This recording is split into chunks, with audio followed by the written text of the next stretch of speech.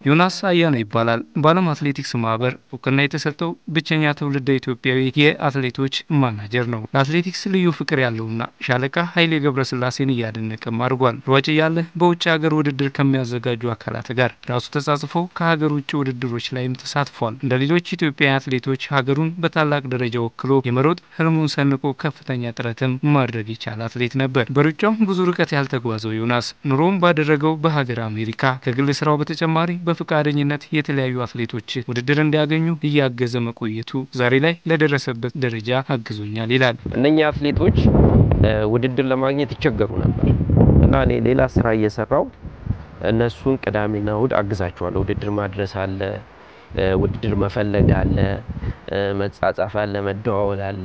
እነኚህ ነገሮች አሬንጅ ያደርግ ነበርና ሁለት ሶስት አመት በነፃ እንደዚህ service ሰጣቸው ነበር።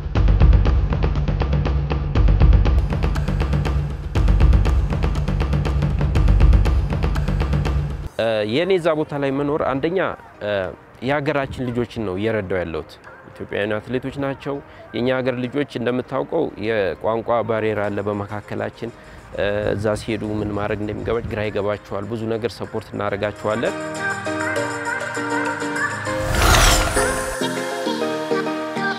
ብዙ አትሌቶች አሉ።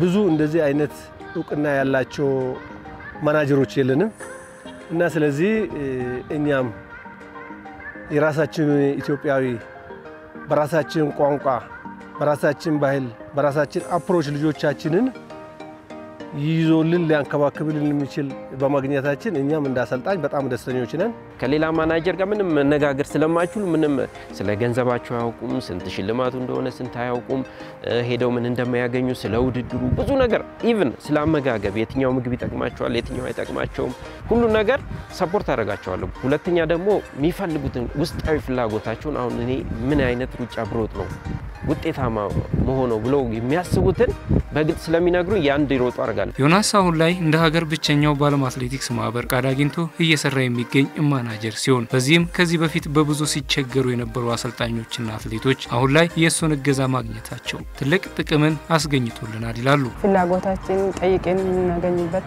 ቀላል መንገድ ነው። እሱ ቀጥታ ስለሆነ አያስቸግርም። በፊት በቋንቋ ምክንያት የፈለግነውን ቶሎ አናገኝም። ገና ሌላ ተወካይ ተነጋግረን ነው። አሁን ቀጥታ ስለሆነ ሁሉም እሱ ጋር ስለምንነጋገር ምንም ወጣት ማናጀር ስለሆነ አይከብድንም። በቃ የፈለግነውን ነገር ጠይቀን ለማግኘት ከዮናስ ጋር ከሄድኩ ቢያንስ ሁለት ዓመት ሆኗል። ያው እሱ ጥሩ management ነው። ያው እንደ ኢትዮጵያም እንደ World Athletics የታወቀ የለም፣ ግን እሱም በጣም ደህና ሰው ነው። ደስ የሚል ሰው ነው። በተለይ ለባለሙያ ለአትሌቱ ብቻ አይደለም፣ ለባለሙያ ቦታ አለው።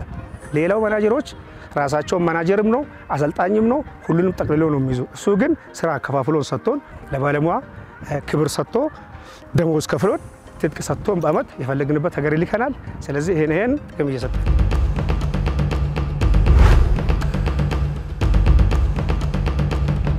እንደዚህ አይነት ማናጀር ማግኘት በጣም በጣም ጥሩ ጥቅም ነው።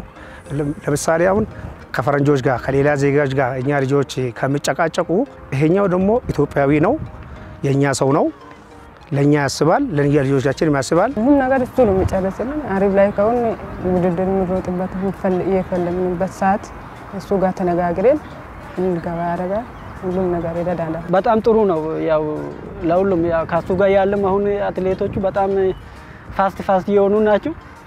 ያው እሱም ያው በሁሉም በኩል ከአትሌቶች ጎን ስለሆነ ጥሩ ሰው ነው።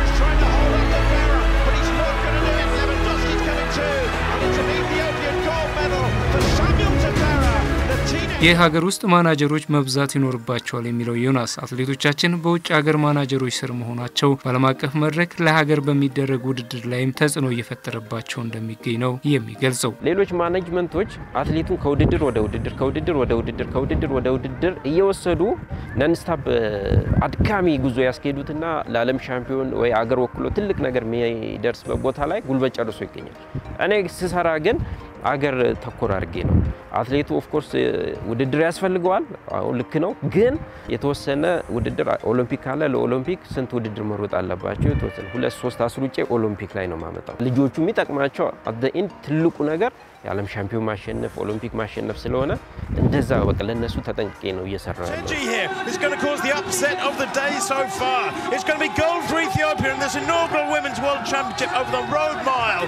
የሌሎች አገር ማናጀሮች ብዙ ጊዜ የምንናገር ነው። እነሱ business oriented ናቸው። ስለ አገር ጉዳይ፣ ስለ ባንዲራ ጉዳይ፣ ስለ ምንማ ጉዳይ ምንም የሚመለከታቸው ነገር የለም። ይሄኛው የኛ የአገር ማናጀር ማለት ኢትዮጵያዊ ነው። የኢትዮጵያዊነት ስሜት ይሰማዋል።